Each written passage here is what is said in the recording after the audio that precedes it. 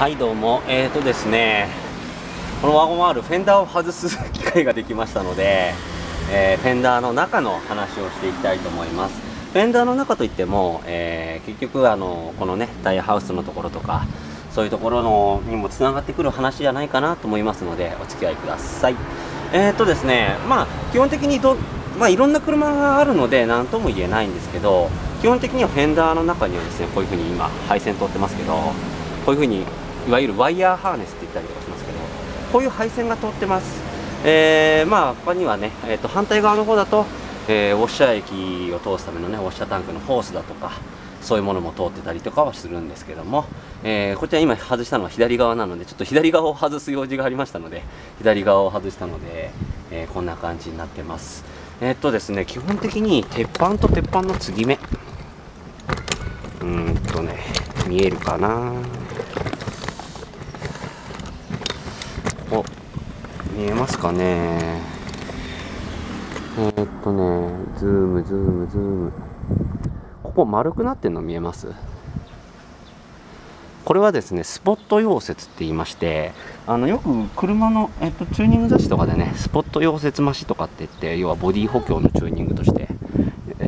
出てますけども鉄板と鉄板を合わせたところにこういう形をした簡単に言うとこういう形をした、え、溶接機を入れてでそこに電気を流してあげることによって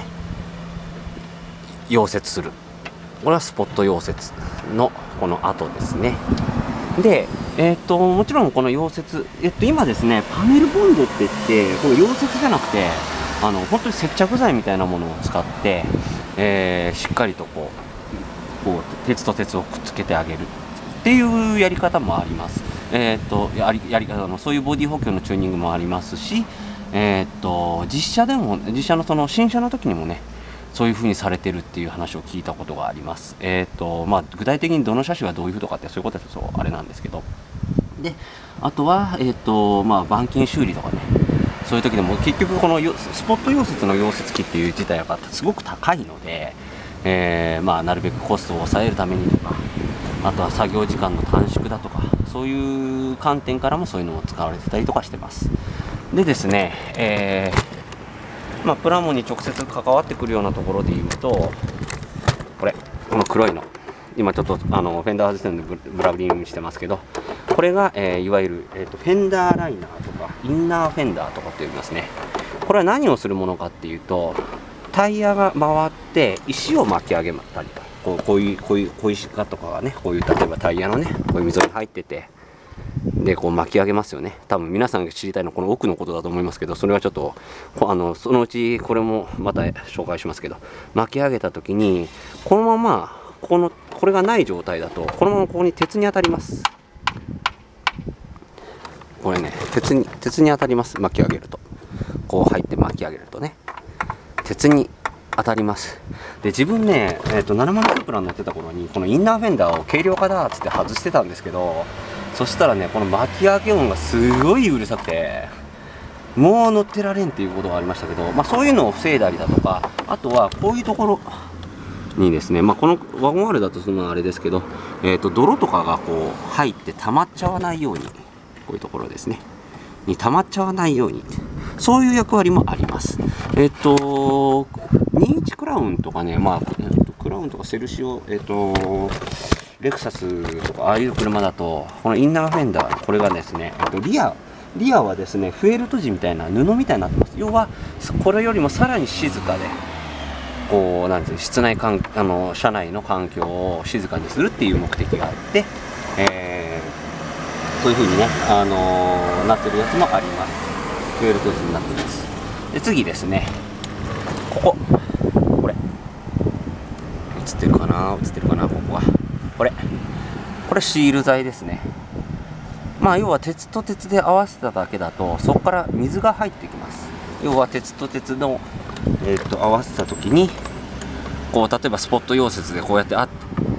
ってたとしてもちょっと手汚いんでごめんなさいね。手汚いですけどこれ合った時にこの隙間は鉄と鉄がこう重なってるだけなので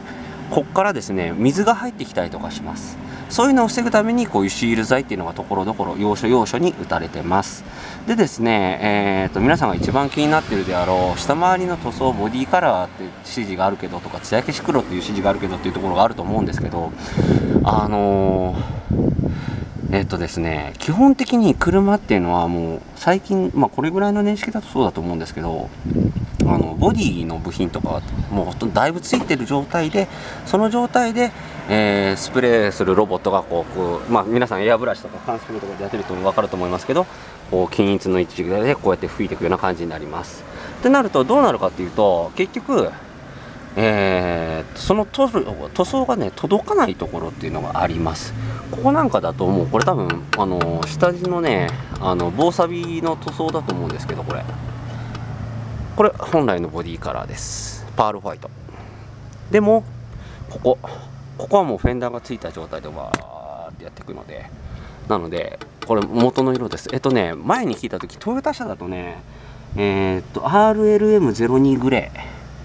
あの色がねあのー、比較的近かったです。あれがぴったり同じかって言われるとちょっと微妙でしたけどでも一番近いビン玉で一番近かったのはあれでした。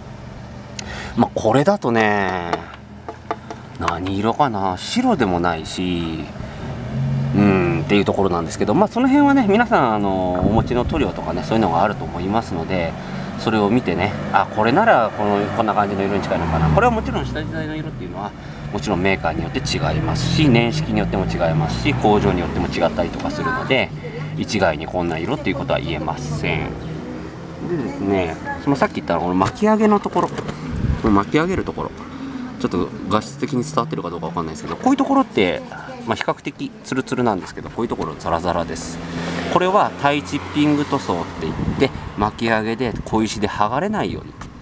えー、ちょっと厚めのまああのー、ちょっとゴテゴテっとした感じのものが塗られてます。はいというわけでですねちょっとデジカメのバッテリーがなくなっちゃいましたので今日撮影分はここまでしたいと思います。えー、またコメントいただければね次回撮影分からね反映できるところは反映していきたいかなと思います。ご視聴いただきありがとうございました。あそうだ。えっ、ー、とそのさっき言ったここ。今ちょっとボディあのドアの立て付け調整をしたんですけどそこの照明じゃないですけどこのボルト今ちょっとずらして調整したんですけどこの下地ここの周りのところ。これ鉄の地の色が出てます。これでねさっき話したボディの部品がついてる状態で、えー、塗装がされてるよっていうことがお分かりいただけるんじゃないかなと思います。えー、ご視聴いただきありがとうございました。次回撮影分はちょっと足回りの辺とかをね、撮影できたらなと思います。